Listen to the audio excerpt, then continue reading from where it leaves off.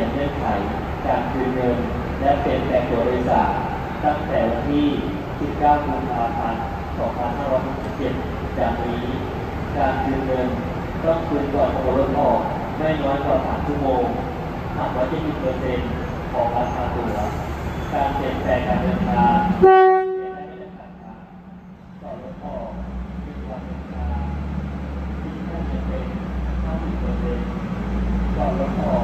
Thank